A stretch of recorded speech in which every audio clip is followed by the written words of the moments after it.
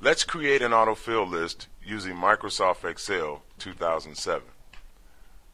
An autofill list allows the user to input the first two pieces of data in a range of data without having to enter it in each individual cell. For our example, let's create a number list from 10 to 100 in increments of 10.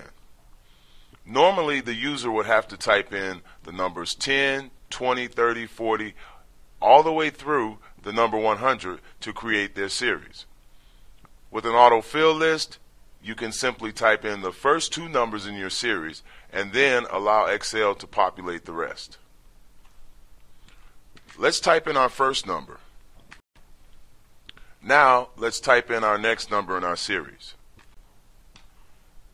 Now, let's highlight the first two cells. In the bottom right corner of your second cell, there is a little black box which is the key to creating our autofill series. Place your cursor over that little black box until it becomes a plus sign. Now click and drag your mouse down to complete your series.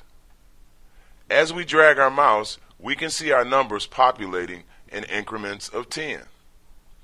Once we get to 100, we can release our mouse and we have now created an autofill data series using Microsoft Excel 2007.